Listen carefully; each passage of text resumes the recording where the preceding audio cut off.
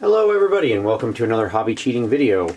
And today we're going to talk about smoothing blends with your airbrush. Uh, so here I have a nice little magical sword on my Keeper of Secrets and excuse me, we're going to go ahead and smooth it all out with our airbrush. And I blocked in some basic blends uh, with just some wet blending and stuff like that uh, very quickly, but it's still quite rough as you can see. So what we're going to do is we're going to fix it with the airbrush. Now to do this, we're going to use a lot of different inks and things like that. We're also going to use a little paint. So here I've got some Payne's Gray, some turquoise, and some white. Uh, Daler-Rowney, all, and then I also have some Glacier Blue uh, from uh, Vallejo. Okay, so uh, our airbrush we'll be using today is the Iwata uh, Hi-Line. And what makes this good is it has a couple different things that make it good for doing these small blends. And I use this technique on most miniatures. I'll come back in and smooth and do some final work with the airbrush. So first of all, it has a nice little control here that uh, I can set how much air is coming out. It has a lock back here on the back that you can say how far back you pull the trigger so it'll stop that from going all the way back. Most importantly, it has this kind of a tip. You see how this tip is solid and actually conical in that it comes down. That lets me very, very accurately control the spray pattern. Okay? Alright. now, we're to work in a really, really small area. Side note, I've actually recorded this about three times with different miniatures, and I was never super happy with how it looked because it was always tough to get it to record on camera. Because what you're doing here is really just finishing stuff. So the first key is I have some white paint extremely thin. This is about 7 to 1 thinner to ink. And we're going to we have to really use the dual action nature of our airbrush. So our airbrush works in two ways how far you push it down and how much you pull it back. We're going to do very little of both. So I'm going to push it down just a little to get some air going, and then I'm just going to start slowly rocking it back to get tiny little bursts of paint. So, with that being said, let's give this a shot. So we're going to start with the white. Okay? Alright.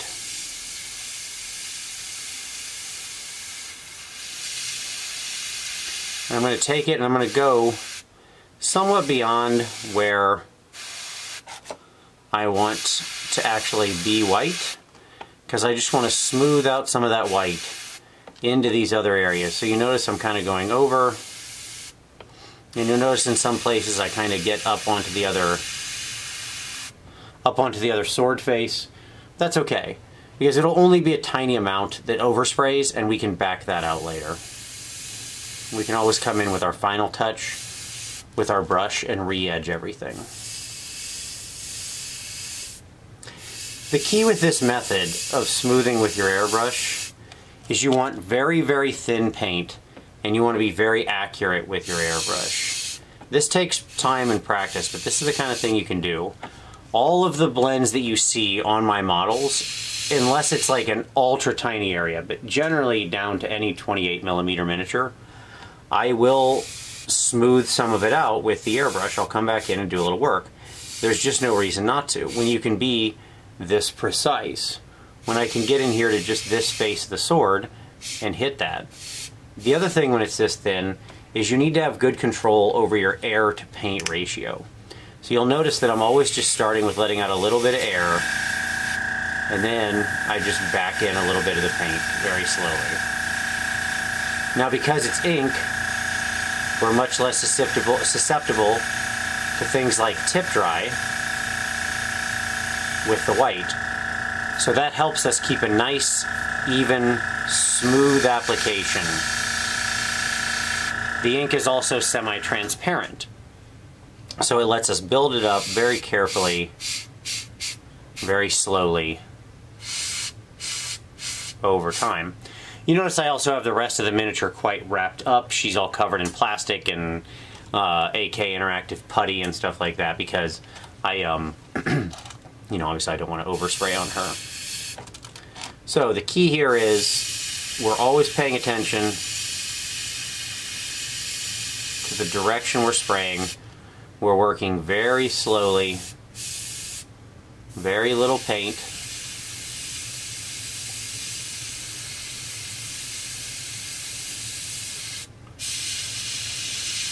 And we just work it slowly and rely on that transparency. All right, so now you can see how much stronger the white is over the whole sword. We can get under there a little bit too. But you don't want to be heavy-handed. You don't want to come in here and just start blasting or you get spider webs with the ink.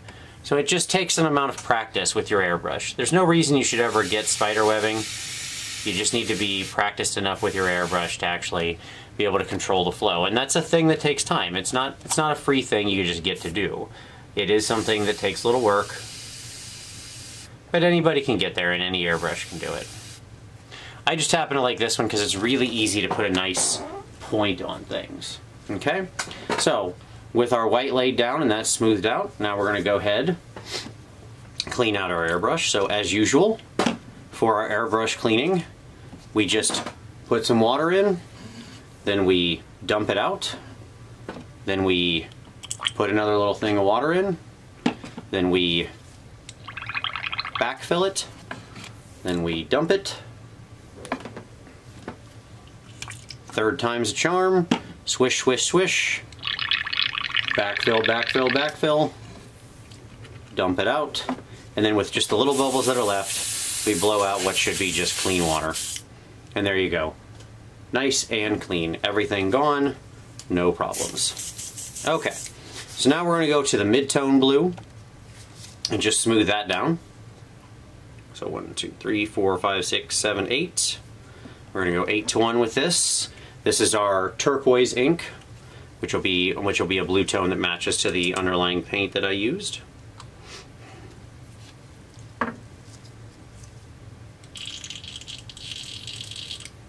So we get that right there, nice and thin. We do a little test here on our hand first, as always, to make sure it's going to come out okay. And you can see how nice and thin that is, but I can build it up there. Okay, good. So now we come back to our sword again. And again, we're going to start up here, uh, kind of into the white we just laid down. Start with just air. And then we slowly work in the blue.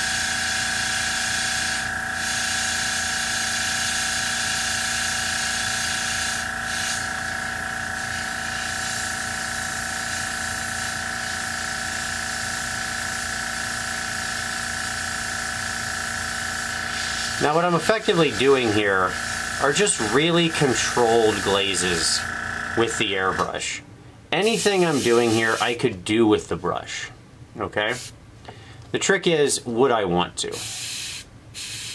Like, why spend all that time with the brush when I can do it so much faster here with the airbrush? The other thing this is really good for is adding filters, and if you watch a lot of um, professional airbrushers, they'll do this kind of thing all the time when they do like paintings, where they'll add, I'm sorry, I'm right off camera there, I apologize, where they'll add um, very careful filters over things using a technique like this. They'll use like very, very thin colors or inks to add a nice thin filter um, over, oftentimes you see it on skin tones and stuff like that when they're doing a painting so that that way they can get a really nice clean sharp skin tone. Uh, lets you do lots of nice tricks like that. So because the ink's always going to dry a little more transparent we work our way around going back and forth. A little bit overspray there fine. There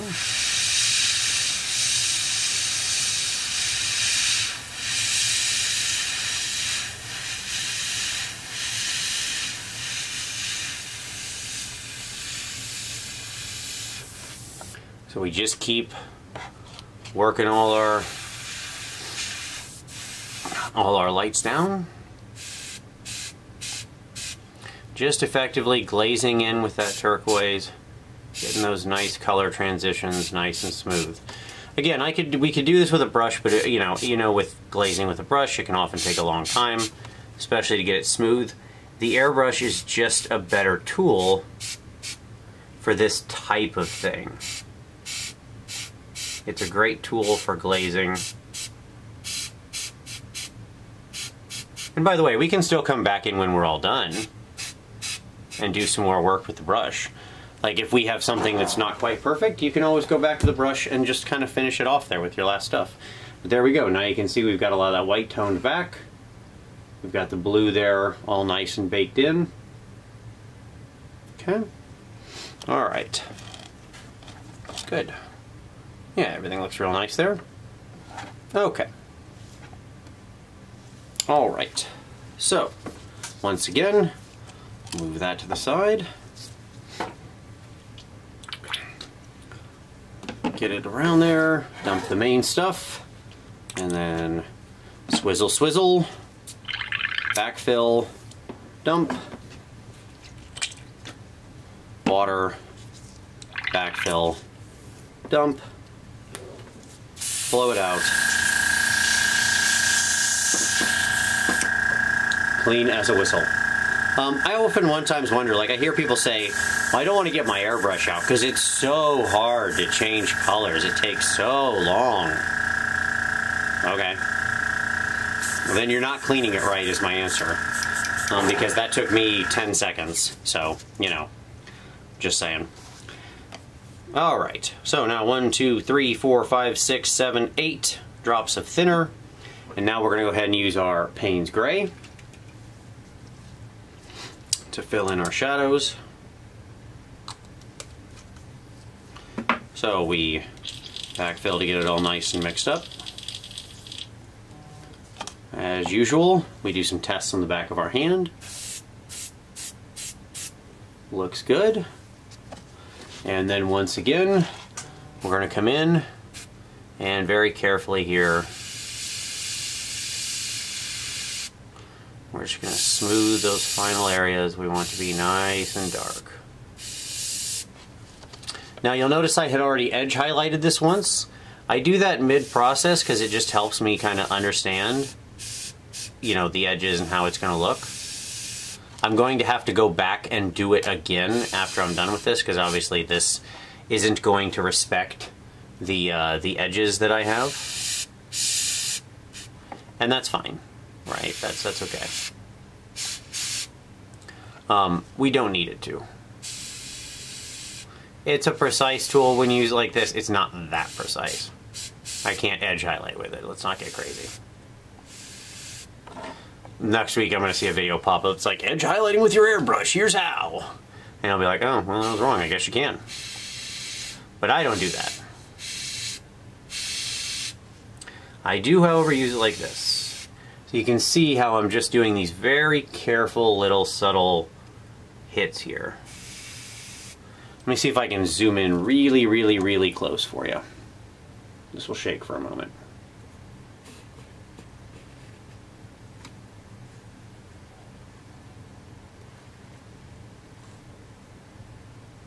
Okay. I will not have a big range of movement here, but this should give you a good idea. Okay. So you can see how I'm just going to work on this flat of the blade. So we start with just the air. And I just rock my hand just a little bit. And then we'll get this bottom part of the blade here. Okay.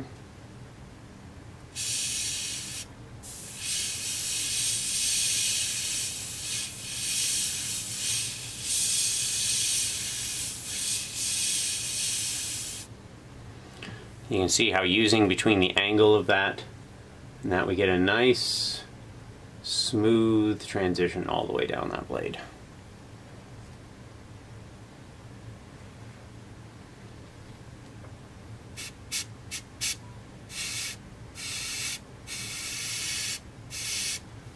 Okay.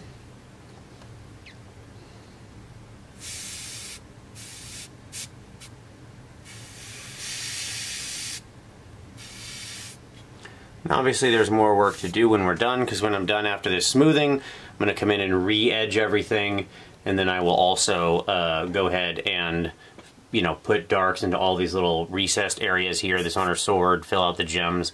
But this just makes the actual glazing process of the sword so much faster and gives you this nice smooth transition through this type of power sword. It's just really a great technique for this sort of thing. So there you go. Now we go from that rough blade to something nice and smooth, good transitions all throughout. And that's really all there is to it. Um, the keys again are very, very thin paint and an airbrush. Either you want either like a 0.3 or 0.35 or 0.2 needle. You don't want any bigger than that, you won't be able to do it. The tip on the Hi-Line makes it really nice, but again, it's the control of your pressure to the air you're letting out. That's the thing that's really going to make it work. When you can get, and a good way to practice is just to get yourself some piece, you know, piece of paper, right, and just start doing things like writing your name.